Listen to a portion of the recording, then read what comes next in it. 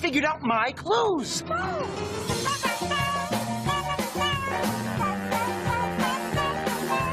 Wow, you know what? We're really smart